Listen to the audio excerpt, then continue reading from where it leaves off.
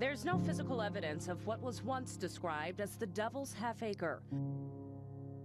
A cruel, dark place of agony and despair for enslaved African American people, tortured and beaten here at the infamous Lumpkins Jail in Richmond.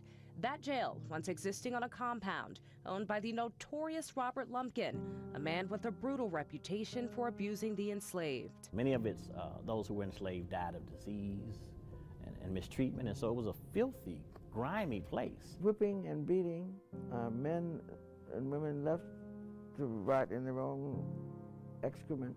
The site once belonging to Lumpkin's home, jail, and lodging for slave traders in the mid 1800s is now buried beneath mounds of concrete under Interstate 95 in Shockoe Bottom.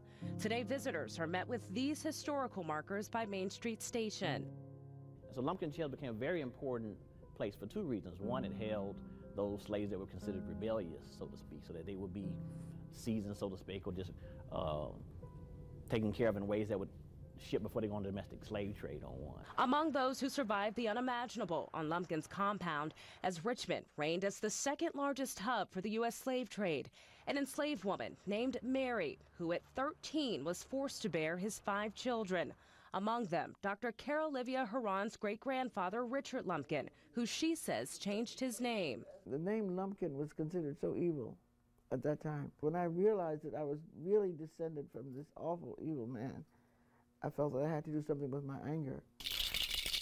She bought this bracelet to rattle off frustration. If I accept this a mar marvelous woman as my ancestor, or he's my ancestor too. And every time I say it, it breaks my heart that, that, that I'm kin to this